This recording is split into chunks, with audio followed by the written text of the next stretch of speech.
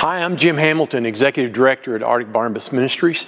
We provide missionary care for 150 missionaries, pastors, and their families in 118 villages and remote areas across Alaska and in northern Canada.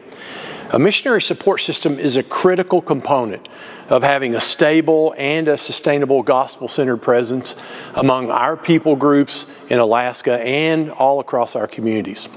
As we navigate life and leadership in this new emerging world triggered by COVID 19, a ministry remodel is the key success factor. Many people in ministries are using words like uncertainty, struggle, difficulty to characterize this last year during COVID. At Arctic Barnabas, we use a different word to describe our experience. It's the word opportunity. During COVID 19, God really taught us how to make lemonade out of lemons. We developed our readiness plan early in the COVID year, created real time, relevant, and relational ways to serve our missionary population.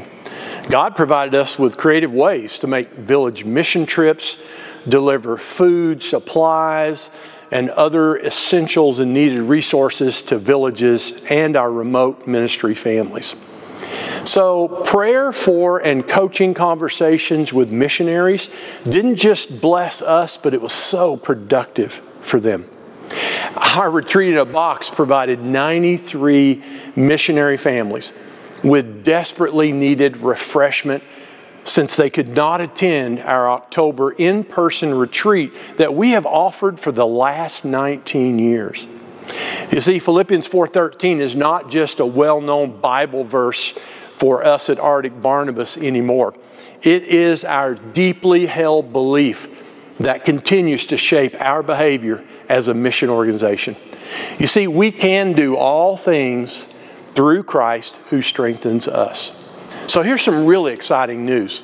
After three years of praying and planning, we're expanding missionary care not just across Alaska from our 118 villages and our 150 ministry families, but more toward that 270 villages and then other remote communities. Not just across Canada, where now we have about six families, but more families in Canada as well. But not just there, but now we're expanding missionary care to Far East Russia. We recently added five families to our missionary care list in Siberia, and we will add more as we travel there this spring. Your prayer and your partnership moves God's plan for missionary care forward, encouraging, strengthening, equipping missionaries to ensure a gospel centered presence or church in areas of unreached people groups is our passion and our mission at Arctic Barnabas. But it takes us together to continue to provide the support systems for frontline missionaries so that the kingdom of God moves forward.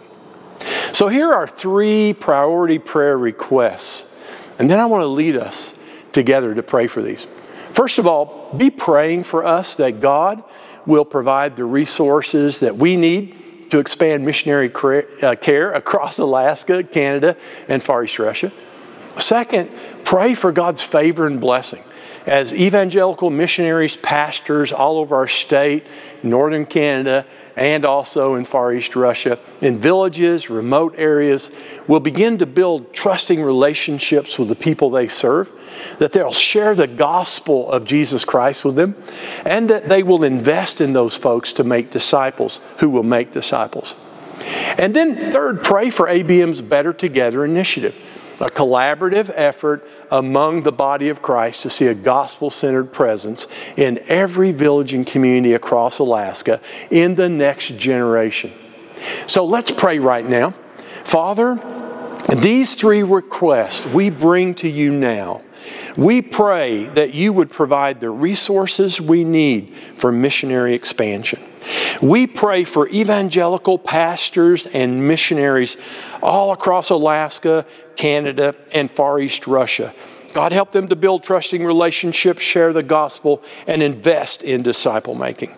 Lord, we pray for Better Together initiative We pray for a collaboration of the body of Christ in Alaska and those who would partner with us outside, that we might see a movement of God in this next generation and see gospel centered presence in churches all over our state.